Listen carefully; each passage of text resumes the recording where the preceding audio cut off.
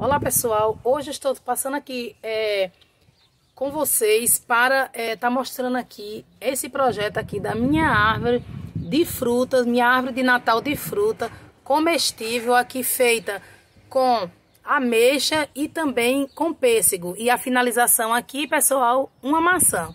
Pessoal, para confeccionar essa árvore aqui, ela é muito simples. Aqui eu usei como base é, um cone de isopor aqui é, forrado com papel alumínio. E fiz é, uma camada aqui de pêssego, depois uma de ameixa e assim sucessivamente. E fiz o término aqui, pessoal, com essa é, maçã. Como é,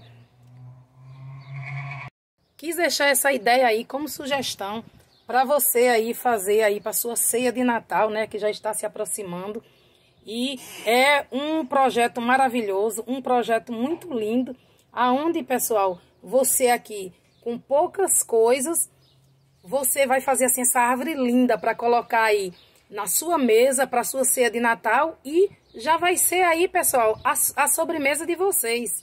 Então, pessoal, faça um projeto desse aí na sua casa que vale muito a pena, é muito simples, muito fácil de fazer. Para espetar cada frutinha dessa daí, pessoal, eu usei palito de dente. Então, pessoal, veja como é simples e fácil de fazer. As camadinhas aqui, ó, um cone de isopor forrado com papel alumínio. Você espeta é, o palito de dente e vai espetando as frutas. E depois tem aí, ó, esse resultado simplesmente sensacional.